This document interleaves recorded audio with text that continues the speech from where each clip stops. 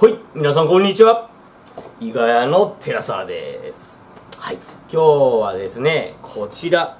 私、お邪魔をさせていただいたんですが、今年も今回も、大阪ベイプパーティー夏の陣、9月29日日曜日に開催されたイベントでございますと、グービーさんがメイン MC をやられて、こちら、スポンサーさんですね。私、12時頃着くかなと思ったら11時頃、開始より早めに着くことができて、すぐ近くにコンビニがあったんで、ちょっとジュースとか買おうかと寄らさせていただいて、おトイレもお借りして、と手を洗っておりましたら、入ってきて、他の方が。え？って見たら、サムライベーパーさんの誠司さんでした。はい。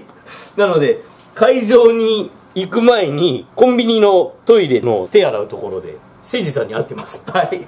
ということでですね、こちらのイベント、私、毎回、もう3回目なんですが、行かさせていただいてるんですけれども、なにわ電連さんの熊さんも、主催側の立場の方で、毎回毎回、夏の陣、冬の陣や、エキスポとか、そういったイベントごとで、お会いするたびに、なにわ電連さんの熊さんに、無理を言ってます。はい。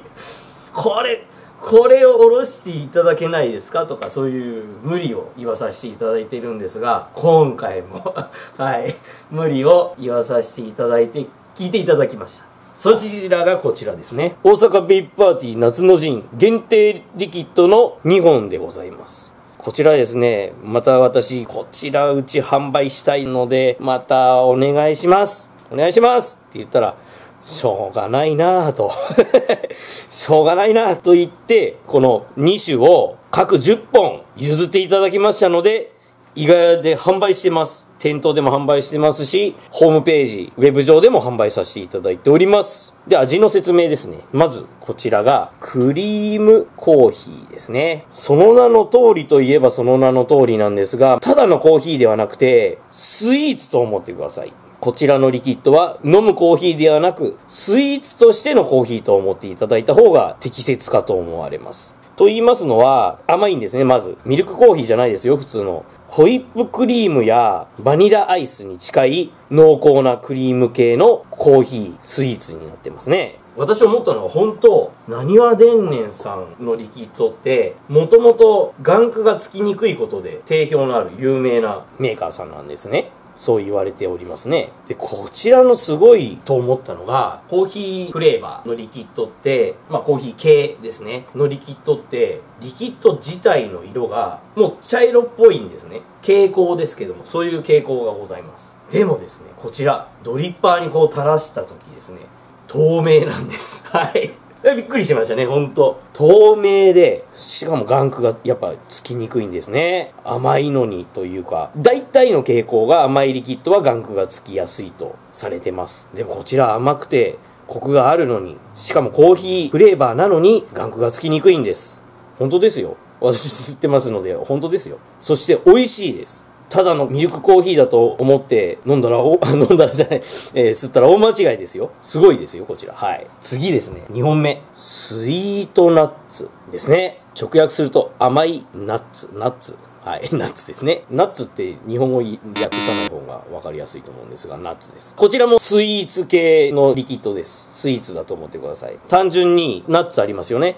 豆みたいなナッツありますね。そこにクリームをこうやってかけて食べるみたいな感じじゃないです。ナッツスイーツですね。ホイップクリームとナッツなんですけども、そのバランスが本当絶妙なんですね、こちらも。ナッツ系フレーバーっていっぱいあると思うんですけども、イメージはしやすいと思います。先ほどのクリームコーヒーよりも、こちらの方がイメージはしやすいフレーバーになってますね。で、ナッツ系が好きな方、甘いのが好きな方は、絶妙なバランスですので、相当おすすめができますよ。本当です。これからの季節、これから冬に差し掛かる季節に、だいたい冬寒くなるとですね、伊賀屋のベイプリキッドの売れ筋の傾向として、スイーツ系、バタースコッチ系、ナッツ系、まったりしたドリンク、ココアだったり、キャラメルマキアートとか、そういうバタースコッチとか。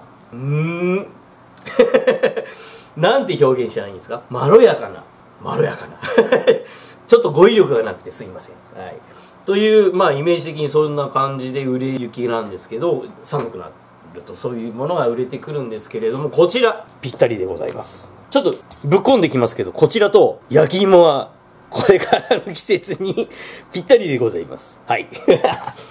えー、どさくさに紛れて、えー、ぶっ込んできましたけど、今回ですね、無理を聞いていただいて、大阪ベイプパーティー夏の陣限定リキッド、なにわ伝年様の限定リキッドですね。2種類、クリームコーヒーとスイートナッツ。各10本ずつお分けいただいて、ただいま、伊賀屋店頭とホームページ、ウェブサイトにて販売中でございますので、気になる方がおられましたら、ぜひチェックしていただけましたら幸いでございます。と言いますか、下の概要欄にも書いときますんで、気になる方がおられましたら、ぜひチェックしていただけましたら幸いでございます。で、やっぱ限定なので、なくなればおしまいです。前回のエキスポ限定リキッドの令和もそうですし、もう限定なので、もう売っちゃえば入ってこないですね。ご了承のほどよろしくお願いいたします。と。はい。じゃあ今日はこの辺で。さようなら。